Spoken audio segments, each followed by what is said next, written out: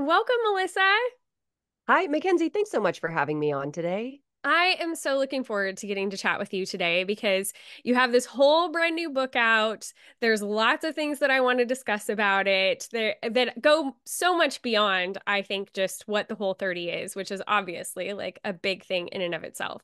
But I'm really looking forward to diving into this and having a great conversation. So, as we get rolling, would you like to introduce yourself to my audience? Sure. My name is Melissa Urban. I'm the Whole 30 co founder and CEO and a seven time New York Times bestselling author. Mostly books about Whole 30, but I've got one book of boundaries kind of slipped into oh, my repertoire. Oh, I didn't yeah. know that. Yeah. That is really interesting. I will have to go and check that out. That's great. So you're coming out with this brand new book. It's behind you. And for those who are watching on YouTube, it's beautiful. It's giant. I was like, oh my gosh, this is so big because we'll get get into that, but some of the things that you've added with this version. And, you know, we'll get into like the whole 30 parts of it because that's obviously like the whole thing. But I have to say, so right from the jump, right, getting into reading the first section of the book that is really sort of about the philosophy, you just head on take on the fact that you have made changes, you've changed your mind about things. Some of that is based on science and, you know, looking into the science of things and being able to evolve what the program is. And some of that is just based on your own personal life experiences. And as someone who's also gone through a divorce and like turned their life upside down and decided like, "Oh, I can think differently about things." I so appreciated the way that you just took that on and were unapologetic about like no I I I made mistakes or I've changed my mind and that's okay. Like how did you get to that place of being like I'm just going to like this is going to lead in the book? You know, so very first of all, thank you. I really appreciate that. When I was going through my very public divorce and business split from my business partner, right, my original co-founder, I found myself really trying to put on I call her Whole 30 Melissa. Yeah. And I was Whole 30 Melissa for many years. Whole 30 Melissa was always put together. She always had her hair and makeup done. She only showed up if she could show up perfectly. She always said the right thing and always knew what to say and never said I don't know and I was this very unrealistic and unattainable version of myself, really to hide and mask how unhappy and how much of like a shit show the my personal life was in the moment. And it felt awful. Yeah. I felt like I was living a version of myself that I couldn't even live up to, never mind anybody else. And so when I went through my divorce and business split, it was the most stressful year and a half of my life, but it was also the happiest because I decided from then on that I was only going to show up as myself. I was going to put Whole 30 Melissa to bed. Thank you for your service. Mm. I understand why we thought we needed you, but we don't anymore. And I was going to say, I don't know. I was going to say this. I was willing to say this is hard for me. I was willing to say I got this wrong and I changed my mind. And so I I evolved and I changed and I grew and I did a lot of therapy. And I think it was really important for me rewriting the original flagship book nine years later. Yeah for me to kick it off with that. Like, why I wanted to rewrite this is because I look back on some of the things I wrote in my original books and I think, wow, I wish I hadn't said that. I wish yeah. I hadn't said it like that. And it's not just that it was a mistake because the science has evolved, it was I, as a person, have evolved and I wouldn't talk mm-hmm. to somebody else like that anymore because I wouldn't talk to myself like that anymore. So, yeah, that was really important to me. Yeah, I think it's so interesting. I just turned 40 this year. And, you know, I look back, I had wanted to write a book when I was younger and, you know, like had my eyes set on that. And it's still something I would love to do at some point. But oh man, I'm so thankful that that didn't happen about a decade ago. That would have been like, oh, retraction, retraction, retraction. Like, uh-huh. never mind. And I'm seeing this a lot. I don't know if it's, I mean, I'm sure as millennials, we we probably did the same thing, but I'm seeing in this Gen Z generation who's kind of there now, like that I've got it figured out. And there's no way to really tell them, like, you don't yet, because we wouldn't have listened to that. Like, we thought we did know, and that's why we said the things we said. And yeah. it just, it takes age and it takes life experiences to be like, okay, no, never mind. Never mm-hmm. mind. I'm starting from scratch. I don't know anything. And so I so appreciated that you just you came out of the gate with that. Yeah. It is one thing to say something really dumb and have that haunt you for years and years where you're like, oh, that one time I said that one thing to my neighbor and like, oh, it was so embarrassing. It's another thing to say things that you're not proud of and have them in a New York Times best-selling book that millions of people have read.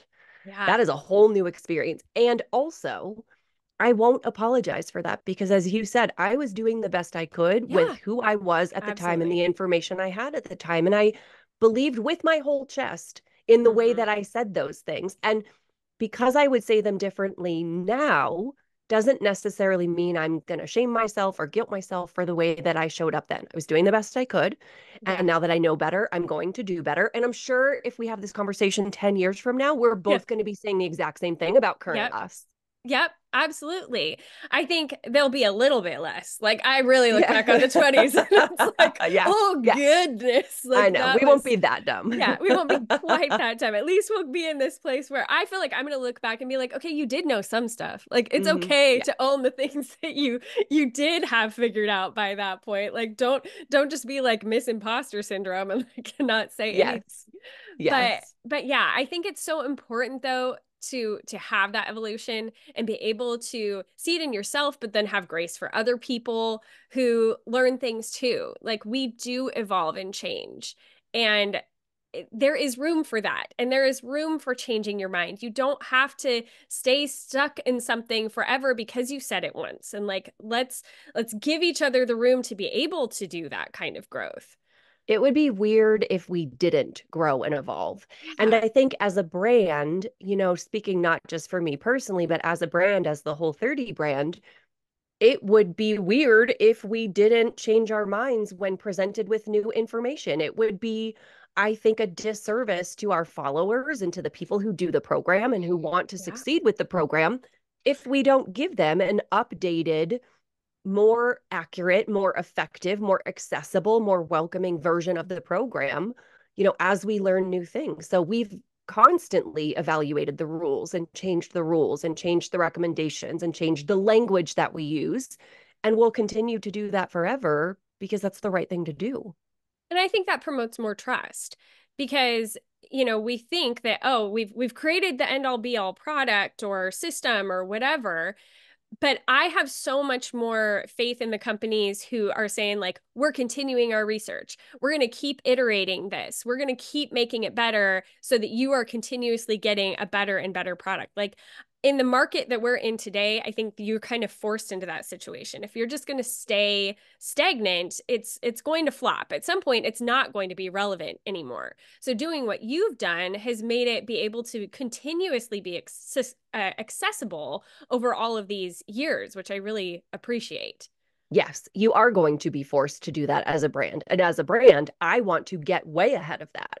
I yeah. don't want to have to, because of community feedback or pressure or unsatisfaction, dissatisfaction, I don't want to say, oh, okay, all right, let's go back and like take a look at it again because that doesn't feel very authentic. Yeah. So I can point back to 15 years of history with the whole 30 where we said, hey, we put this thing out, we got it wrong, we're going to do it differently. That's just always been the way that we've operated. And I do think it has inspired a lot of trust and loyalty in our community, certainly relatability. Yeah, yeah, absolutely. I think it's really interesting because I'd never done Whole 30, but I had friends who did and were very, you know, close to me. I knew they were, you know, we were eating out together or, you know, doing dinners together. And so it was like a thing, you know, oh, she's on Whole 30. We got to make sure that it's yeah. all like kosher with what she needs. So I have like some awareness of it but it was really interesting as I was reading through it and like getting more into it with this version that you've put out and everything, realizing like, oh, okay, she did it like back to back. It was like she became like the whole 30, that was her lifestyle. But that's not really the way that you have done it. Like it was really interesting in the book for me to hear that you've only done it like eight or nine times over the course of it and that you don't really plan on ever doing it again.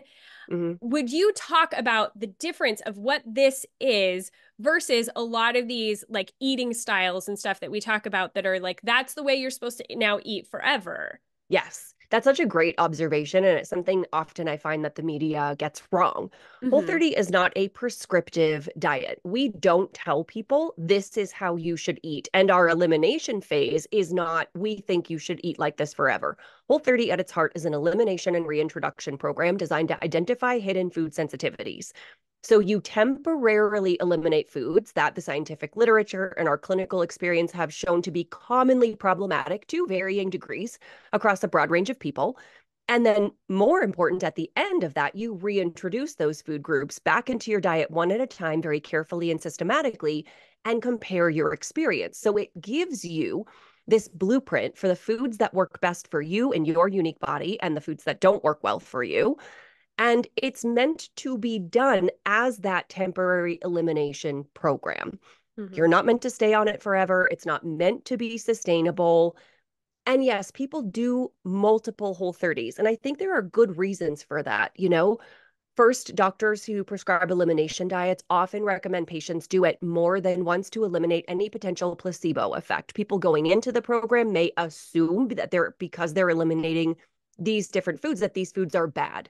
And even though we emphasize a million times, no, they might work perfectly well for you, the placebo effect is still in place. Also, people do the whole 30, they get done. They now start kind of working their food freedom plan, which is this three step plan that I've outlined for life after the whole 30. But it's really hard to override decades of an emotional relationship with food and your body and habits and you know the way that you navigate stress and discomfort and negative emotion like that doesn't override in just 30 or 45 days. So very often people will come back to the whole 30 when a stressful event or a vacation or a holiday or just the slow slide kind of throws them off their game. And they're like i want to come back to something that i know makes me feel my best gives me that sort of reset. That's what a lot of people refer to the program as. Mm-hmm. And then I can come back with even more knowledge about the way foods work in my body. And I'll be even better educated to go create this food freedom plan that feels joyful and sustainable for me. So that's how I encourage people to do the program. Feel free to come back to it, but it's like a safety net, not a trampoline. Yeah. I don't yeah. want people bouncing in and out of it. I would rather you go work your food freedom plan. And if and when you find you need that reset again, then come back. Yeah. Well, and I love that idea that that's the end goal is figuring out what works for you individually because I think we're hearing more and more about how biodiverse we are and how we all have different things that work for us. And so it seems like to me I feel like I'm hearing that more recently. But with that having kind of always been the goal of Whole 30 it seems like you you were ahead of the curve on that like trying to find what works for each individual person. I love that it's not prescriptive. It's a way of you looking inward. And I think that I that's something I want to kind of like shout through this that people pay attention to that. It's like getting to know yourself and what you need. I would say I would kind of equate it to like therapy. if you go to therapy, you're figuring out what you specifically need to work on, what your traumas are, whatever. You know, this is that same situation with your body, figuring out what is going to work for you so you can make a plan that you feel the best and you're able to work forward on. Exactly. And, you know, I think for so long, uh, okay, I have a very needy dog underneath here. So if you see my arm flying up, it's because he's nudging me for pets. Okay. For a very, very long time, we have been told, especially women, that we cannot trust ourselves. We've been told by the diet industry, by the patriarchy, by stereotypically rigid gender roles, maybe by religious influence, certainly by the media. And we have inherently ignored the signals that our body is sending us. We believe mm-hmm. we can't be trusted. And then because we've weight loss dieted for such a long time and that's all we've sort of known, when our body says, "Hey, you're hungry," we've said, "No, no you're not. No, you're not. We're dieting or we've used all our points for the day or we're out of macros or whatever it looks like." So the whole 30 yes is about bio individuality because there is no one size fits all when it comes to diet and that makes sense to a lot of people but it is also about empowering people to restore that trust in yourself so that no matter what the next you know article in time magazine or influencer on social media tells you about whether this food is toxic and poisonous or a superfood and everyone should be eating it you can say I know how this food works for me and I'm mm-hmm. confident in my choices and I'm confident that I'm making the choices that are right for me. And you don't have to let all of that noise in because that can feel really overwhelming and it can absolutely steer people off in directions that don't serve them. Yeah. Oh, I absolutely agree. And I, what you're saying about us as women, like not validating what we feel about ourselves, I think that is such a learned skill that we need to put back into practice of like listening to your body. I remember when I was giving birth to my second son and the first my first son I'd had in the hospital with a doula but like didn't have very good preparation. I like didn't know what I was doing. And then by the time I had my second son, I had done a lot more research in different classes. And I remember they kept telling me, listen to your body, listen to your body. And in my first birth, I was like, what are you talking about? Like what does that even yeah. mean? Like i i've never listened to my body. Like i'm just existing here. Like i don't even know. But then with the second time around it was like oh so you mean like if i move a certain way then it's going to feel different and i'll be able to tell like what's going on? And it was such a foreign concept that i think we don't emphasize enough in our culture of actually thinking like sitting down and thinking about like well how do i feel? Like am i more tired? Am i you know whatever? And sometimes it takes keeping track of those things or doing something really drastic to even notice those things in your body or to see a difference. Yes women have been conditioned to put other people's needs and comfort and feelings ahead of our own. So we do tune those signals out. And then there are also a lot of factors that get in the way from our bodies giving us clear signals. As yeah. an example, if we're eating a lot of ultra processed foods that are really sugary and saltier and fattier than whole foods, you know, our body may say you're hungry, you're starving, you need to eat, but you may just have low blood sugar, or you may be eating a hyper palatable, ultra processed food that bypasses those satiety signals. So I think there are a lot of reasons why the signals our bodies have been sending us may have felt untrustworthy. But yes, we encourage people through the whole 30. And there's a lot of habit research and behavior change research, and even the research of addiction and recovery built into the program we encourage people to stop and check in with your body and say, How does this feel? We give you different metrics that you can measure over the course of the day that have nothing to do with the scale your mm-hmm. energy, your sleep, your cravings, your mood, your focus. And what we discover is that people by the maybe 10th or 12th or 14th day of the whole 30 elimination phase, they will say, I didn't, I've heard this so many times. I didn't know that it wasn't normal for your stomach to hurt every time you ate. Every time yeah. I ate, my stomach hurt. And I just thought that was normal. And now yeah. it doesn't hurt anymore. And it's like, oh my gosh, I can exist like this. So there's a huge level of awareness that comes with a program like Whole 30 that can help you tap into that checking in with your body part. Yeah. And I really like too so many things that I want to bring up. Like, where do I, I start?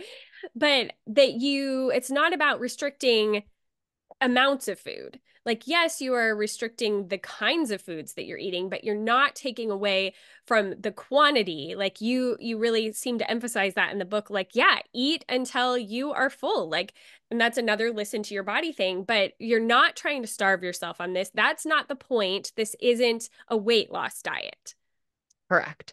On the whole 30, you will not count calories. You won't restrict calories. You won't track or weigh or measure your food. There's no portion control. There's no macros. There's no points. There's no fasting. We don't talk about meal timing. We want you to eat to satiety and learn to trust the signals that your body is sending you. I'm hungry. I'm just having a craving. I'm full and I can stop eating. And so over the course of your whole 30, many people find that again by like the second week, those signals are coming through loud and clear. And because you are eating when you are hungry, you know, you should never be hungry on the whole 30, whether it's a meal or a snack or a mini meal. People find that their energy stays up, their focus stays up, their mood stays up because you're not calorically restricting. Yeah.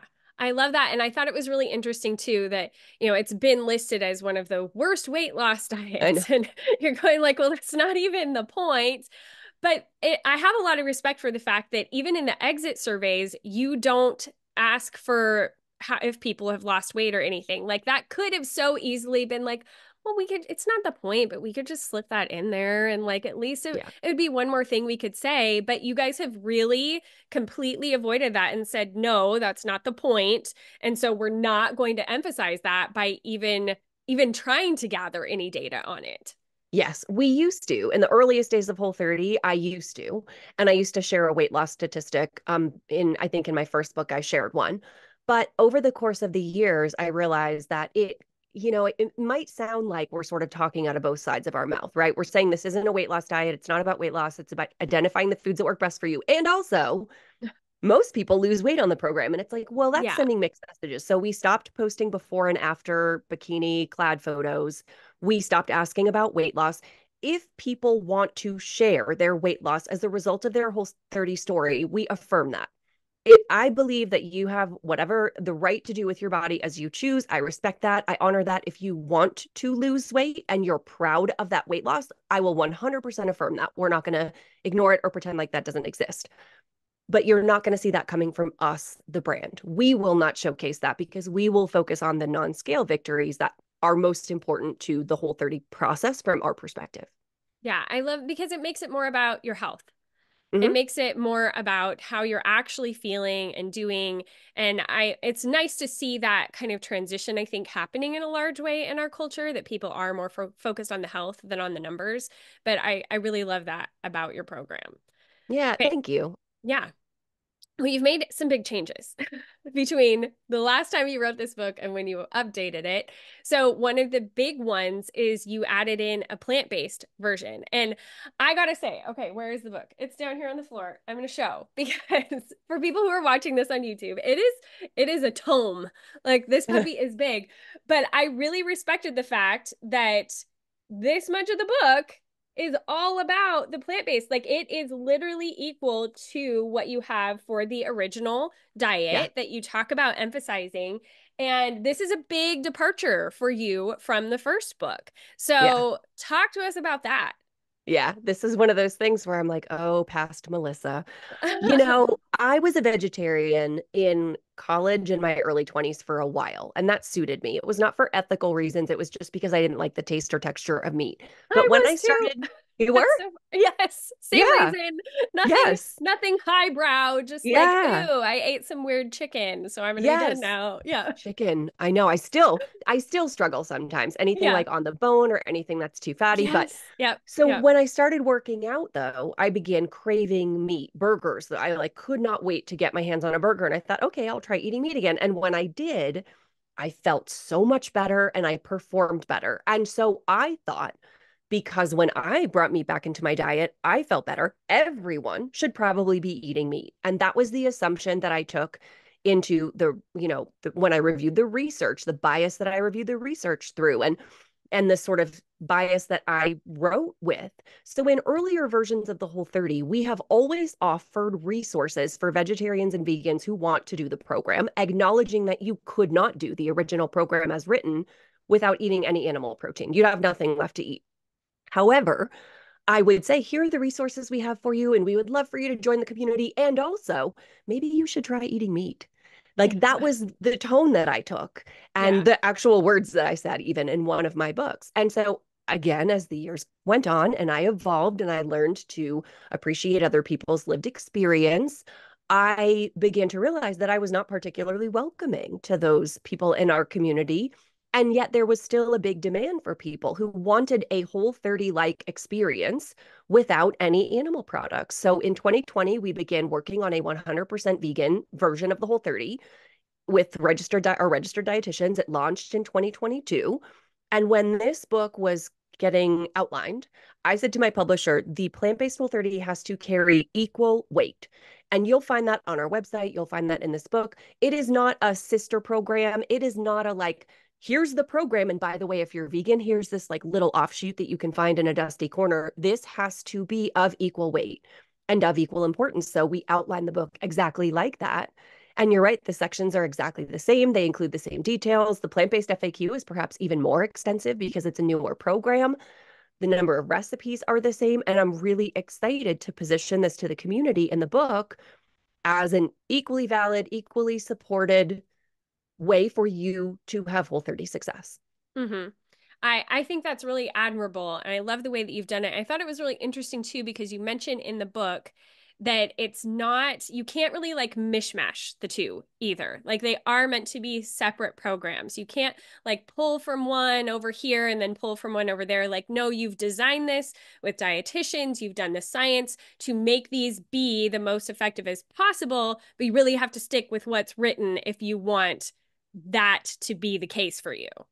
Correct. And again, you can do whatever you want. If you want to create Sure. your own version of the high whole 30 and you want to do a original whole 30 but also eat soy, like you absolutely can, obviously. However, we have designed each protocol to eliminate the maximum number of foods that could potentially be inflammatory while still making the program accessible and give you the most knowledge upon reintroduction about how those foods work for you. So if you start mixing and matching you really are losing an opportunity to A, eliminate a food group that could potentially be problematic for you because it is commonly so.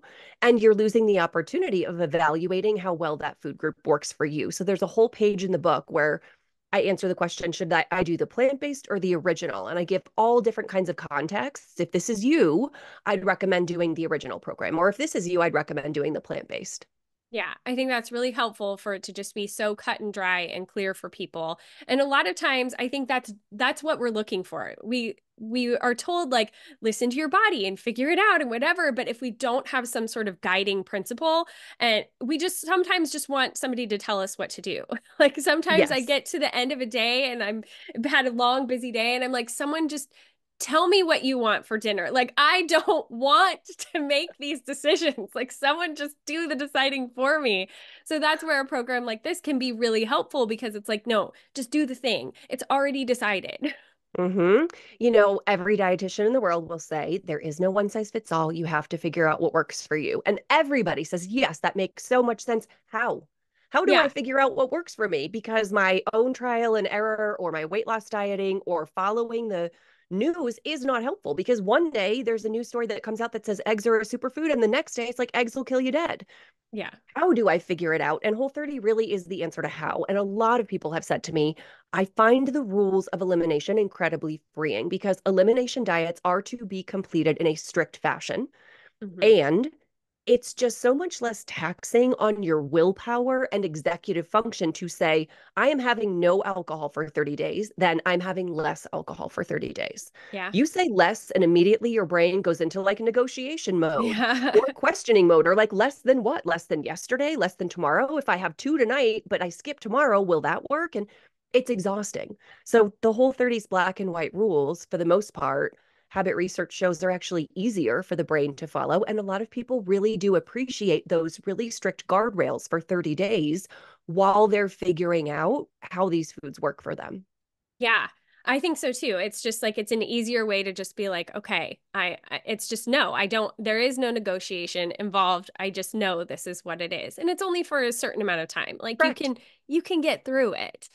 Yeah. So one thing that I thought was interesting in like the rule change section that you go into in the book was the whole idea of the the pancake rule or something like that where you can like make the fake versions of stuff and i know we saw a lot of this especially like when keto really was getting hot and all that kind of thing where people would make these crazy renditions and they're still you can still find them all over the place for sure but you mentioned in the book there's a lot of alternatives on the market now though that we did not have 10 years ago, 15 years ago. It has been pretty amazing to see how many different things with, you know, everything like you were talking about, everything that cauliflower has become and you yeah. know all those different things that that you did restructure that rule a little bit.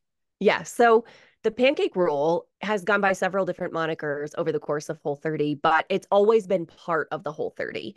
And it, the pancake rule essentially says you're not allowed to recreate baked goods, pasta, cereals, french fries, or chips with technically Whole 30 compatible ingredients. And back in the day, these were kind of concoctions that we were trying to make in our own kitchen. We were like, oh man, if I combine like a date and a banana and maybe some cocoa powder, could I make something that tastes like a brownie? Today, there are so many grain free, dairy free alternatives on the market. And I love that for people who either can't or choose not to eat gluten or choose not to eat dairy. Love that there are so many options. But part of the whole 30 is helping you figure out how to navigate stress and anxiety and negative emotion and discomfort without automatically reaching for a food and drink because so many of us that is our first and only coping mechanism is like mm-hmm. something's uncomfy, we reach for a food or a beverage.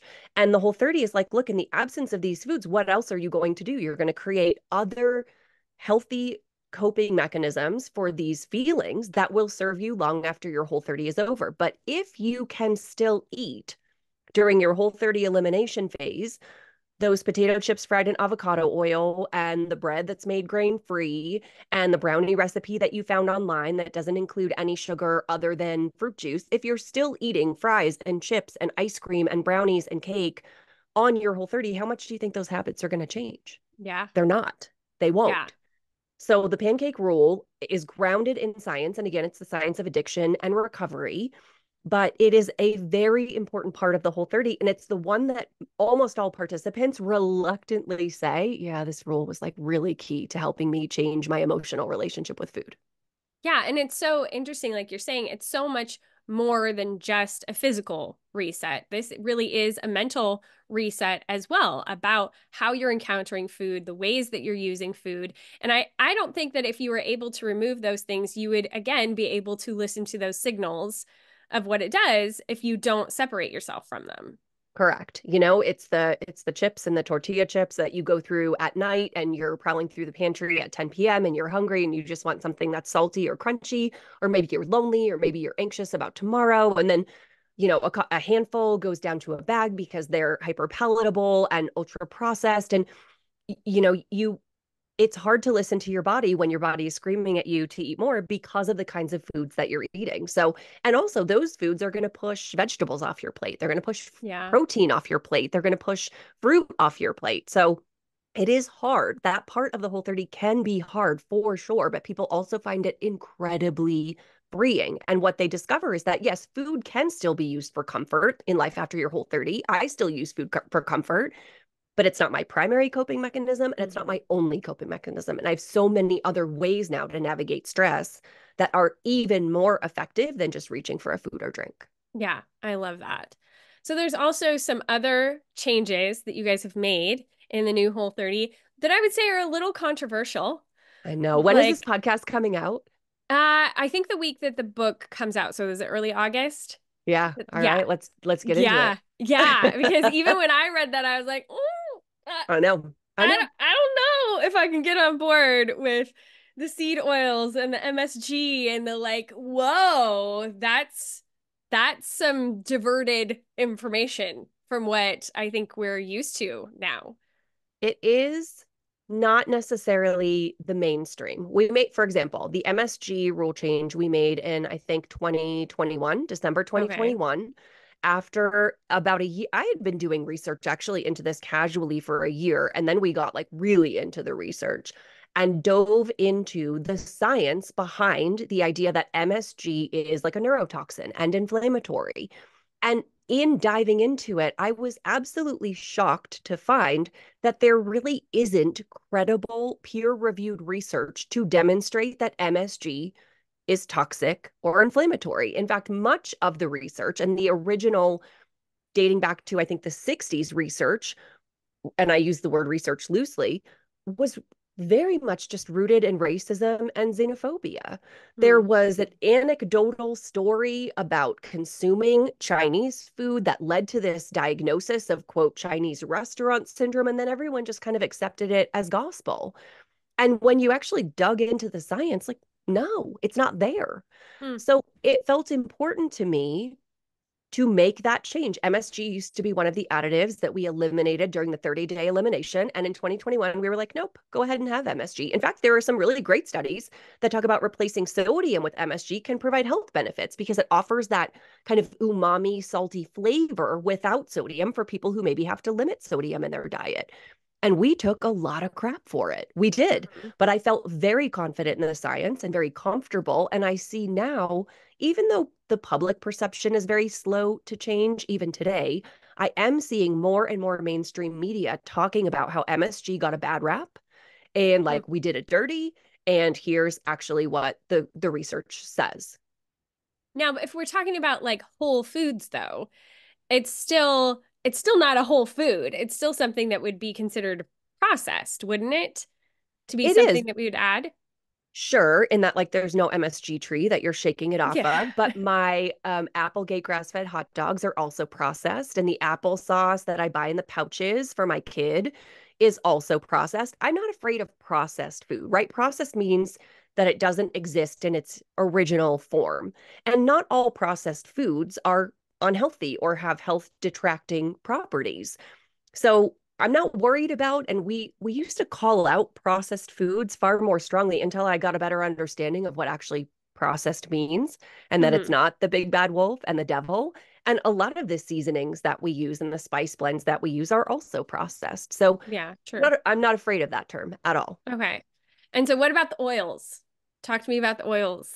Oh boy. So seed oils, and by that I mean maybe we refer to them as vegetable oils, but it's canola, safflower, sunflower, rice bran oil, as examples, corn oil, soybean oil, have especially in the last, call it five years, gotten a really rough rap, mostly from influencers, calling them toxic, calling them inflammatory, calling them poisonous. And I also, based on the earlier research I did in earlier books, believed that soybean oils were inherently inflammatory.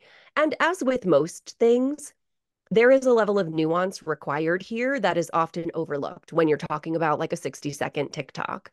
Sure. And this was an area of interest of mine about 2 years ago. So I we employed two different independent researchers to look at the current reliable science. And I'm not talking about observational or mechanistic studies, although we did review those. We looked at randomized control studies and meta analyses of randomized control studies, sort of the creme de la creme of uh, evidence based research. And what we found there, again, really surprised me in that seed oils, in and of themselves, are not inherently inflammatory. And in fact, in the literature, most often when replacing saturated fat in the diet, actually have health promoting properties, are protective of, against cardiovascular disease. And that was not the research. It's like the opposite of what is. we're hearing. Yeah. But what, so what we're talking about though, and what we're finding is the context in which most people consume these seed oils or these polyunsaturated rich fats are in ultra processed foods. And then you've mm-hmm. got a lot of confounding factors, right? Because we know that ultra processed foods also contain higher calories, more sodium, more sugar, maybe more saturated fat in as well. And so in the context of frying these fragile oils like you would see in fast food, in the context of a diet rich in ultra processed foods, in which you've got all these confounding factors, and we know that ultra processed foods are linked to an increase in mortality, and in the context of not enough omega 3 saturated fats in the diet, probably as a result of eating a diet that's very high in ultra processed foods, yes, overconsumption of these polyunsaturated fats in that context, probably problematic. And it's not just because of the polyunsaturated fats, it's about all of these other factors, right, in the diet. And also because people with that sort of diet also maybe have lifestyle factors. Maybe they're sedentary, maybe they don't sleep well, maybe they're not managing stress well. So there's this whole big picture that you have to look at. But in the context of a whole 30 elimination phase where you're eating whole nutrient dense unprocessed foods where you're getting plenty of omega-3 saturated fats from the foods in your diet or maybe from targeted supplementation with EPA and DHA and you're using them in conjunction with other fats and other cooking oils I don't see a problem with seed oils in that context. Interesting. And we came right out and said it in the book. And I guarantee when it comes out, we're going to take a lot of shit for that too. yeah. Yeah. I'm sure you will. I'm sure you will. Because there were those things where it was like, okay, okay, we are going in a different direction here. But, but, co- but context yeah. matters and the science is on our side. That's the thing. I'm very confident yeah. in this science. Okay. Well, we got to trust that you're you're doing the you're doing the science work that I'm not doing. No, It's not me though. Here's the thing. Yeah. Like that's not my area of expertise. So yeah. I employed independent yeah. researchers and I had a cardiologist, a medical doctor, do the final review and the edit of all of the research. Like I employed experts for this. This is not me trying to figure it out for myself. I can summarize it. But, you know, I I hired the heavy hitters on this one. Yeah. That's really interesting. So what are you most excited about about this book coming out? I am most excited about the welcoming, inclusive, I won't say softer tone, but you know, I was very famous and the whole 30 has been heavily famous for our tough love in the past. Mm-hmm. You know, that like this is not hard language. The birthing a baby is hard, quitting heroin is hard, drinking your coffee black is not hard. That was the most famous line of the whole 30 up until a couple of years ago. And I wouldn't talk like that to anybody anymore. I don't talk like that to myself, and I wouldn't talk like that to you. There is still plenty of direct communication. There's still plenty of, I think, calls for empowerment and self awareness, but the tone is more welcoming. The tone is more acknowledging of other people's lived experience. I feel like I wrote this book with people instead of for people, hmm. which feels different to me and feels important. And I'm just excited. If you looked at the whole 30 in the past and you thought because of the language or the tone or something I said, like, oh, I don't know if this program is for me, I am the most excited for that person to pick up this book and look through it and think like, oh, maybe this, maybe this version is for me. Yeah. And then they get the life-changing experience. Yeah, I definitely think that that comes across very strongly throughout that whole initial section that you write that it's always like i know i said this but hold on if you're still here with me like stick for this next part and listen to it. And i yeah i really appreciated that about it and i think you've done a really good job. Thank you. I appreciate that so much. Yeah. So we're going to move in towards the end of the podcast here. What does a typical day look like for you right now? So i am I'm a Gretchen Rubin upholder, if you know okay. what that means. Yeah. I respond to inner and outer expectations equally well. So I like structure and I like routines. So I bookend the front half and the back half of my day with routines. And then the middle part of my day can go sideways and like I'm okay. So my morning routine, I wake up, I sometimes take a cold shower, depending on how cold my water is. Um, I will immediately do some kind of movement session. I'll go for a walk, I'll ruck, I'll run, I'll hike, I'll do yoga or work out. I do my post workout meditation. I come in and I, you know, eat my breakfast and get ready for the day. So I don't do any work or check any email or social media before that morning routine is done. Then during my day, I'm doing podcasts and interviews. I'm writing newsletters or writing stuff for the blog or meeting with my team about the upcoming September Whole 30. So, Whole 30 business for the rest of the day. I knock off at like 5 p.m. I have really good boundaries. When I'm home with my family, I'm home. I'm not also working. So, I'll hang out with my kid. We play games. We'll, you know, go throw the football around or have dinner together. At the end of my night, I get myself ready for bed. I do my skincare routine and I always read a fiction book before I go to sleep. Always, always, always. That's how I end my night. Yeah, me too. There's just a way of like, after all that work, you can like totally check out from your own life. Yes. Yeah. Yes. Yeah. It's good. It's like way. a good way to get my brain to turn off if I'm still yep. thinking about work too. Yep, absolutely.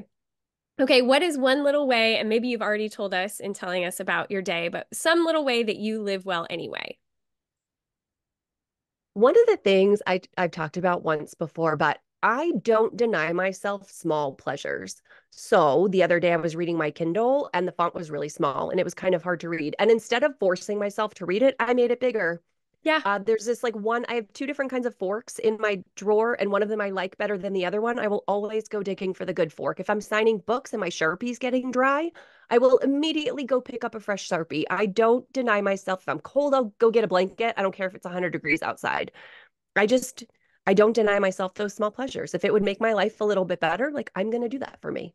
That's so funny. I saw a reel the other day that was like, as we're getting older, like just do the thing. Like, and it, it said, if your Kindle font is too small, just make it a size that you can. No read. way. Like, why are you torturing yourself? Just do it. yes, so I I went up like a month ago. I went from three to four. Yeah, and I think I'm back to three now. But like sometimes when my it doesn't matter. Yeah, it, it, I just I do I do it. I do it, yeah. and, and it feels good. I love that. Yeah. Okay, are you ready for my stock questions? Mm-hmm. Okay. Okay, let's do it. Candles or essential oil diffuser? Candles. All right. Cloth napkins or paper? Paper. All right. City or country? Country. All right. Paper or digital? Paper. Okay. Shopping, would you rather do it online or in the store? Online. All right. It's whatever time you're making dinner and you need a mental break. Do you listen to a podcast or music? Audiobook. Oh, okay. What I know. I just threw my own answer audiobooks? in. Yeah. No, that's oh, great. I always have an audiobook going. I just finished a romance book called Just for the Summer, which romance is not my jam. And I will not listen to another one for months and months because it makes me want to throw up a little in my mouth. It was, really, it was like a really, really good book. It was very good. Okay. All right. Chocolate, milk or dark? Milk, I guess. I'm not really okay. a chocolate person. Milk. Okay. That's fine. Sports or no sports? Some sports. Okay. Live broadcasting, like going on stories or whatever, would you rather broadcast or watch? Watch. Okay. What is your favorite movie? Ooh, that's so hard. I mean, I I kind of go back to Best in Show pretty often, that Oh, okay. mockumentary with Yeah. Eugene Levy. That one just Yeah. never gets old. Yeah, that's a great one. All right, and final question. If you were to put yourself on the crunchiness spectrum, where zero is totally not crunchy and 10 is like singing Kumbaya by the fire with your legs unshaven and dreadlocks in your hair, where are you on the spectrum? Okay, I love this question because I often tell people I'm like, I would say I'm 62% suit and like 38% woo. So I would say on the crunchy scale, I'm like a 38%. Okay, that's a great answer. I've never had somebody answer that way before. That Yeah. was great. Well, thank you so much for coming on today, Melissa. I hope you don't get too much kickback from things in the book, but I think there's so much great in there. I think it's going to be really well received. So thank you so much for sharing it with us. Thanks for letting me talk about it. I really enjoyed our conversation. Yeah, me too.